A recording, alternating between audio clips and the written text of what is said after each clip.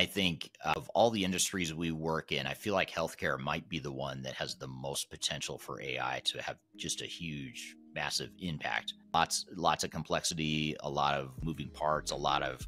uh, human blind spots or human uh, imperfections that in some cases lead to life or death. Attention to detail or, or lapses in, in uh, details can can be a matter of life or death or some lesser patient outcome. So AI is really well primed to make a huge impact in healthcare, in my opinion, because you, you, think about all the mass amounts of data that your doctor has about you, or that anytime you go to the urgent care or to your just your general practitioner, and if you could use AI to you know do some more predictive work or some more correlation type stuff to figure out what the real root causes of different health issues are uh, that's something that humans have been striving for, you know, decades or more to figure some of the stuff out, like how to cure cancer or whatever, you know, whatever the health ailment might be. AI may not cure cancer right away or in the short term, but I, I would feel a lot more optimistic about AI maybe getting to the root of what's causing cancer and helping us uh, understand our own behaviors and outcomes and things like that. So I think AI is going to have a massive impact in healthcare, uh, if you ask me.